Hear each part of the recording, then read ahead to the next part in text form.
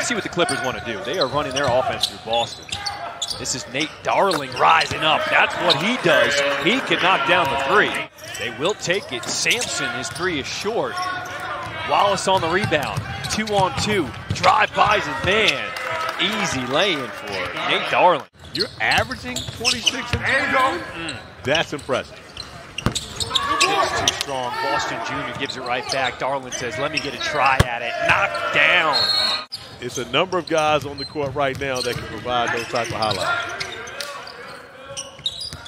Darling gets by his man. The runner in the lane goes. When you knock down a three, all of a sudden the lane opens up. Yeah. Well, I can tell you for certain, he's not going to slow down. Darling calling for it in transition. Martin gets to a point eight, a point eight to point lead quickly, but that time out of control. Give Preston a lot of credit running back defensively, coming up with the steal. Darling looked like he was going to pass. Instead, just shoots it in your eye.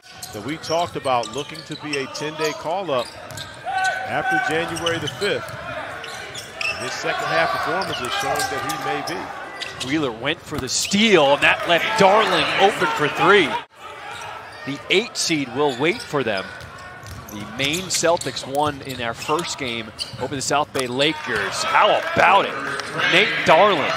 And you've got so many, all the different GMs and scouts. Ooh, Oh, that is. Preston, one on cross court to Nate Darling. Win. This is the way the game was supposed to be played. The beautiful find from Preston. One hand on a dime. Nate Darling knocking down the corner.